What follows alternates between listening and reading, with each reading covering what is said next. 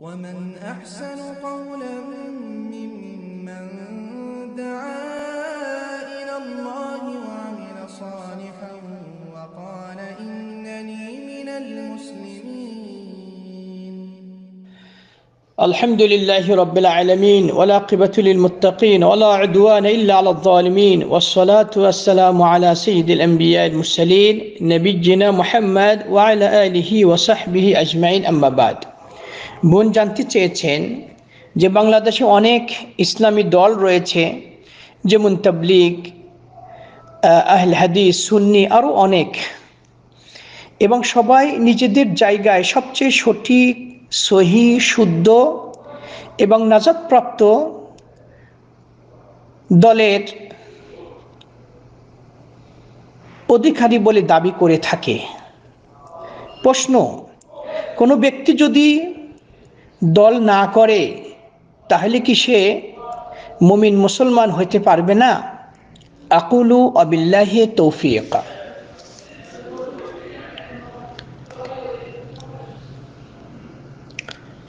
মানুষ সামাজিক জীব, সাধারণত সে একা একই বসবাস করতে পারে না। সমাজবদ্ধভাবেই ব্যক্তি জীবনযাপন করে থাকে।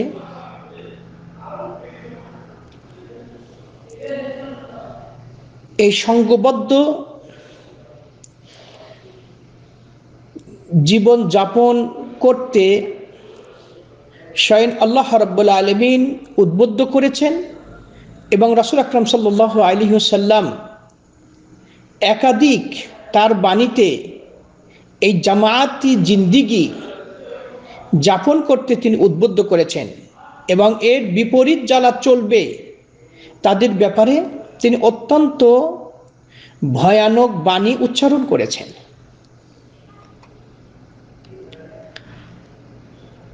একটি দল কামত পর্যন্ত সঠিকের উপর প্রতিষ্ঠিত থাকবে, এটা কিন্তু সত্য। সেখানে একটি দল বলা হয়েছে। সুতরাং একজন ব্যক্তিকে কিন্তু বলা হয়নি। বলা হয়েছে যে একটি দল কেয়ামত পর্যন্ত হকের উপর প্রতিষ্ঠিত থাকবে। রাসুল সাল্লাহ সাল্লাম বলেছেন, লা তাজালু তাইফাতুম মিন উম্মতি। জাহিরিনা আলাল হক।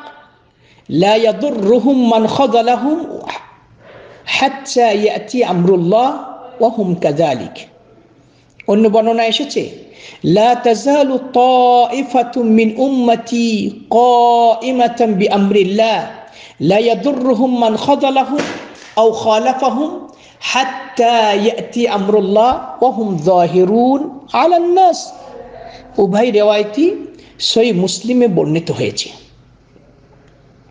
অর্থাৎ আমার উম্মতের মধ্যে থেকে হকের উপরে বিজয়ী দল হিসাবে একটি দল চিরকাল থাকবে।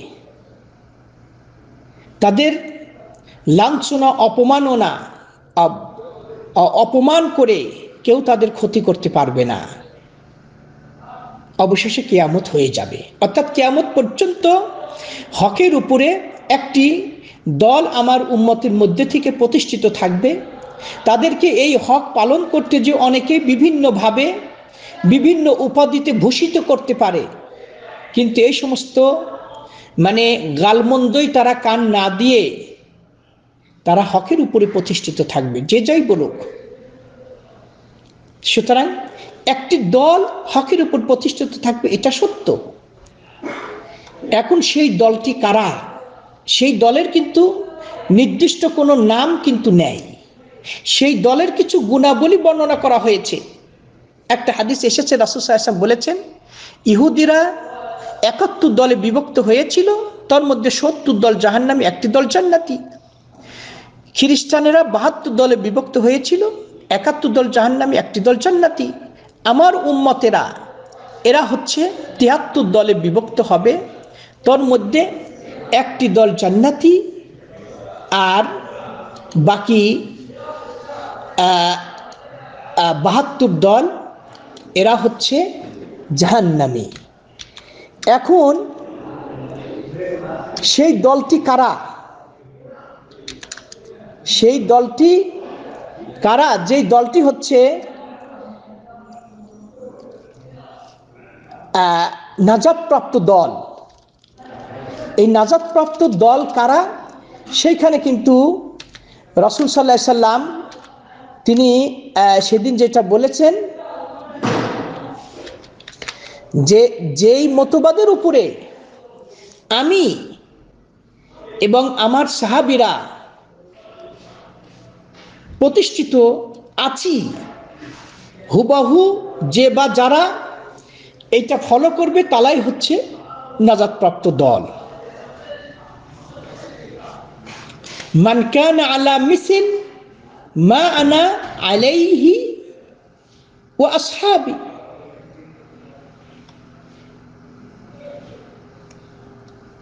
তাহলে এখানে কিন্তু রাসুল সাল্লাহ সাল্লাম দলের কথা বলেন না এখানে গুণের কথা বলেছেন যে আমি আজকের দিনে অন্য বর্ণনা এসেছে যে আলিয়ম আজকের দিনে আমি এবং আমার সাহাবিরা যেই তরিকা, যেই মতবাদ, যেই মানহাজের উপর প্রতিষ্ঠিত আছি, যে বা যারা হুবাহু এটি ফলো করবে, তারাই হচ্ছে এই নাজাদপ্রাপ্ত দলের অন্তর্ভুক্ত হইতে পারবে বলে আশা করতে পারে। তাহলে এর দ্বারাও আমাদের কাছে সুস্পষ্ট হচ্ছে যে একটি দল হকের উপরে প্রতিষ্ঠিত থাকবে, এটি সত্য। এখন জামাতের জিন্দিগি যাপন করতে আল্লাহ রব্বুল্লা আলমিন উদ্বুদ্ধ করেছেন, ওয়াতাসিমু বিহাবলিল্লাহি জামিয়া ওয়ালা তাফার রাকু সুরা ইমরানের একশো তিন নম্বর আয়ত আল্লাহ স্পষ্ট ভাষায় বলেছেন, তোমরা সকলে আল্লাহর রজ্জুকে মজবুত করে ধারণ করো, আর পরস্পর বিভিন্ন দলে তোমরা বিভক্ত হইও না।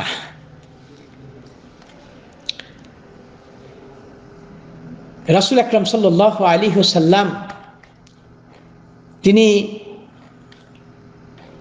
বলেছেন যে আমি তোমাদেরকে রাসুল সাল্লাহ সাল্লাম বলেছেন যে আল্লাহ রব্বুল্লা আলমিন তিনটি কাজ পছন্দ করেন। তিনটি কাজে আল্লাহ সন্তুষ্ট নিহত রয়েছে। তিনটি বিষয়ে এবং তোমাদের তিনটি কাজে আল্লাহ রাবুল্লাহ আলমীর অসন্তুষ্ট রয়েছে। আল্লাহ তোমাদের জন্য তিনটি কাজ পছন্দ করেন এবং তিনটি কাজ অপছন্দ করেন।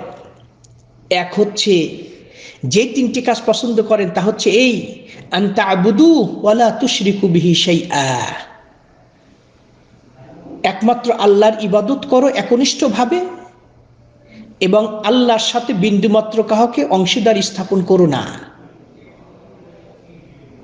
ওয়ান্তা আতাসিমু বিহাবলিল্লাহি জামিয়া ওয়ালা তাফাররাকু।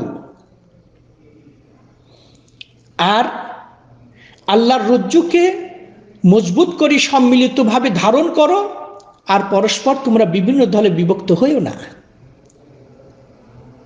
ওয়ান তানাসাহু মান ওয়াল্লাহুল্লাহু আমরাকুম। এবং তোমরা তোমাদের মুসলিম শাসকদেরকে সহায়তা করো। তিনটি কাজ। একমাত্র আল্লাহর একনিষ্ঠভাবে ইবাদত করতে হবে, তার সাথে শরিক স্থাপন করা যাবে না নাম্বার ওয়ান নাম্বার টু সম্মিলিতভাবে আল্লাহর রজ্জুকে মজবুত করে ধারণ করতে হবে, পরস্পর বিচ্ছিন্ন হওয়া যাবে না। নাম্বার থ্রি মুসলিম শাসকদেরকে সহায়তা করা। আর যে তিনটি কাজ আল্লাহ অপছন্দ করেন, সেটি হচ্ছে কল আজে বাজে কথাবার্তা বলা, যে কথার কোনো মানে নেই, খামাখা। এবং অধিক খামাখা প্রশ্ন করা আর সম্পদ নষ্ট করা। মুসলিম শরীফের হাদিস। তাহলে এখানে কিন্তু আল্লাহ রব্লা আলমিন কোরআনে যেটি বলেছেন, রাসুল সাল্লাহ সাল্লামও কিন্তু সেইটি একই কথা বলেছেন।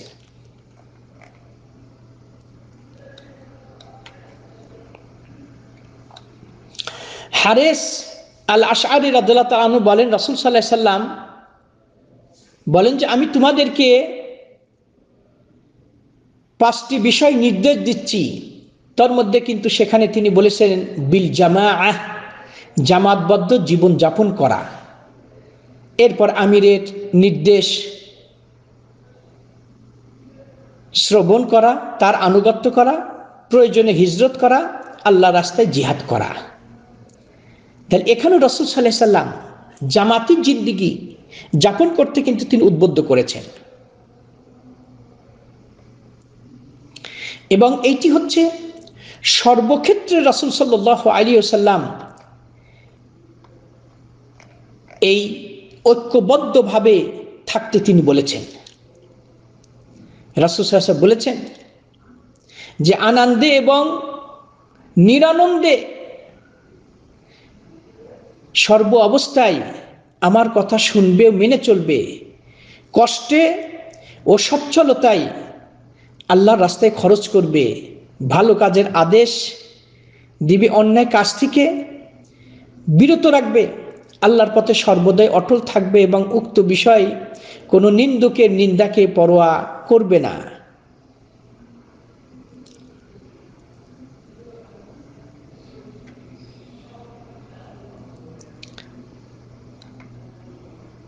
রাসুল সাল্লাহ আলী ওসাল্লাম তিনি বলেছেন, মান খালা আয়াদান মিন তাআতিন, লাকি আল্লাহ ইয়াউমাল কিয়ামাত ওয়ালা হুজ্জাতু লাহু ওমান মাত ওয়ালাইসা ফি উনুকিহি বাইআহ মাতা মিতাতান জাহিলিয়াহ যে ব্যক্তি আমিরের নিকট থেকে আনুগত্যের হাত ছিনিয়ে নিল, সে কামতের দিন আল্লাহর সাথে মোলাকাত করবে মতো অবস্থায় যে তার জন্য কোনো দলিল থাকবে না। যে ব্যক্তি এমত অবস্থায় মৃত্যুবরণ করবে তার মৃত্যুটা জাহিলি মৃত্যু হবে।